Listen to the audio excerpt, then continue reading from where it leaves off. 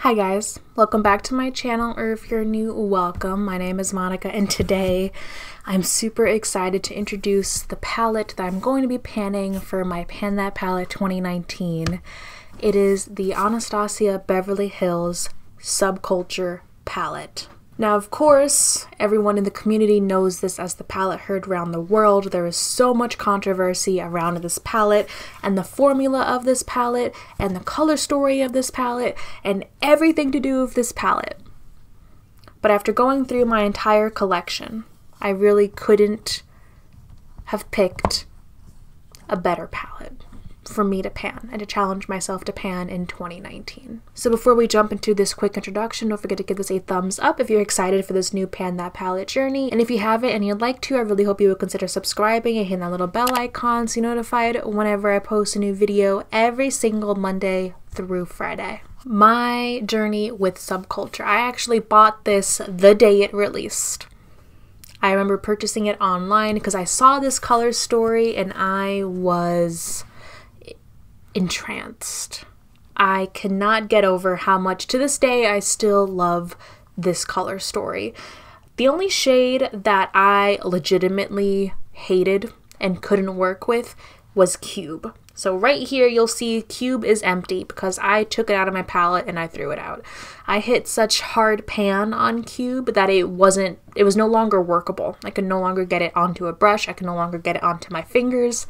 I couldn't get it onto my eye. I could not get it to work anymore. So that one I completely got rid of. So we're starting with an empty pan in cube and we're also starting with some pan in dawn, which I was surprised to see. I really only hit pan on this a couple of weeks ago and that was me like stepping back and not using this palette. I'm actually not wearing this palette on my eyes today because I really didn't want to start deep diving and using this palette until 2019 because I really want this to be as much of a Pan That Palette 2019 as I can make it, despite the fact that I did buy this when it first released. I don't really have any more significant dips in any of the other shades other than Dawn.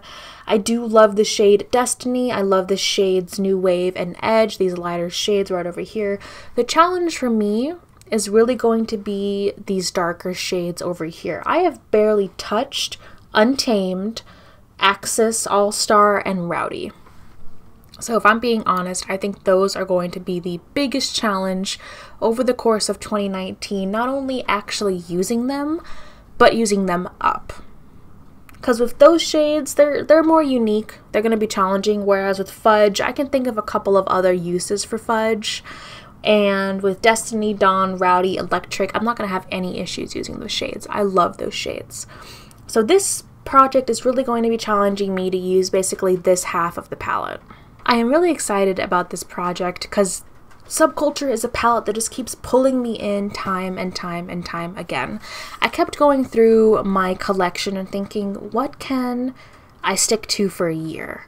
And I was going through palettes and I was like, oh, what about the Sweet Peach palette? Oh, what about, you know, a green palette? Oh, what about this palette? And I would think, okay, that'd be nice. But whenever I thought of subculture, I kept thinking, oh, I can do this, I can do that, I can do this, I can do this video idea, I can do these kind of looks for a certain video, I can do these looks on an everyday work basis, I can do these looks when I want to be dramatic. I, I just wasn't as inspired by any other palette as I was with this one.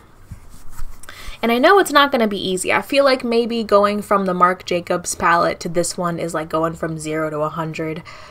But I think I'm at the place now where I'm ready for a challenge, and I'm ready for this challenge. Speaking of the Marc Jacobs, if you missed my very first Pan That palette and the journey that I went on in 2018, I will throw that playlist up in the cards if you would like to see me pan that entire Marc Jacobs style icon palette in Lolita. Spoiler alert, I did use up the whole palette by December. So since I was able to do that palette and since I feel like I'm kind of on like this high and this like run with panning and how great I'm doing, I I think I'm ready. I think I'm ready for this challenge. Maybe come December, November, I'll be like, "Oh, maybe I wasn't ready." But you know what? I'll never know until I jump headfirst and try. So, of course, I will be once again updating this project once a month on my progress. I will be doing plenty of videos about looks of this palette, plenty of videos about multitasking, about my struggles, about my triumphs. So, don't forget to subscribe if you haven't already, if you would love to see this 2019 project unfold in real time. And if you want to just catch a past project or a past video, I have plenty of panning projects that I've done over 2018, including a finish or drop 10 by summer, a finish 5 by fall, a finish 6 by solstice. So if you guys want to check out any of those, please don't forget to check out those playlists. I will have all of them listed in the description box down below. Thank you guys so much for watching. If you have any advice, if you also love subculture, if you don't like subculture, let me know down below because I'm just so excited to begin this new journey. Thank you guys so much. Happy, happy 2019. This is the first video I will be posting in the new year. I hope the new year treats everyone very well, and I hope we can all find and achieve what it is we are hoping to do in this year. Thank you so much for watching, and I cannot wait to see you in my next video. Bye.